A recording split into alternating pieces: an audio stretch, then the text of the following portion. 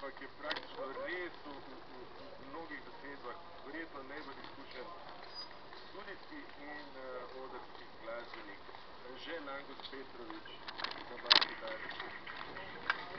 Potem imamo um, novega člana na kitari Marko Kavatin, Koperčan, izjemno talentiran glasbanik, izjemno talentiran. Snemamo na klaviaturah mojega sošolca srednje šole, Obasva Siva, generacija, ki je producent, avtor